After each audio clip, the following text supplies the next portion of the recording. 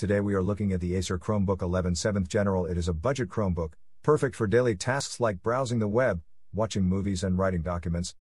It comes with a fanless dual core Intel Celeron N3060 CPU, and 11.6 inch, 720 IPS display, and a non touch screen. It has 4 GB of RAM and a 16 GB eMMC SSD. It has Android apps, Google Play, but it does not have Linux apps, Crostini support, and it will receive auto updates until June 2021. It weighs 2.43 pounds and its dimensions are 11.6 by 8.0 by 0.7 inches. The battery has 3 cells and 10 hours of battery life. It has a full-sized HDMI port, HD webcam, two USB ports, one USB 2.0 and one USB 3.0 ports. It has a micro SD slot and a combo headphone jack. Connectivity-wise, it comes with a built-in Wi-Fi card and Bluetooth 4.0. It costs $219.99 on Amazon, but of course, that is subject to change.